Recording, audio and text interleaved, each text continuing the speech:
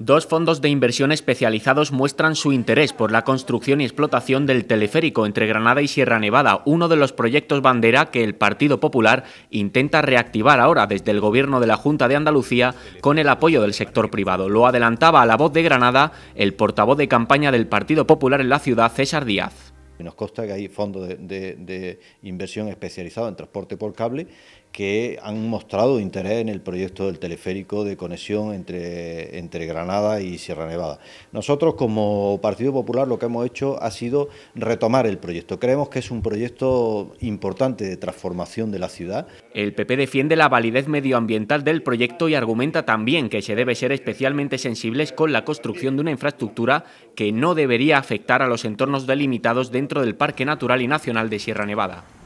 la última sentencia del Tribunal Supremo en donde le da absoluta eh, luz verde de todos los, pronunciamientos medioambientales al proyecto inicial. Nosotros lo que queremos es, eh, es que ese proyecto inicial, que hace 10 años o 12 años eh, un grupo de empresarios de Granada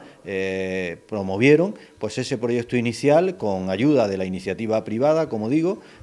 pues pueda tener las garantías legales suficientes como para que pueda llevarse a efecto. Para el Partido Popular, el teleférico entre Granada y Sierra Nevada ayudaría a descongestionar el tráfico y las dificultades de acceso a la estación de esquí, un proyecto no exento de polémica por el impacto visual y medioambiental que estas instalaciones podrían provocar sobre un espacio natural altamente protegido. Sin duda, el teleférico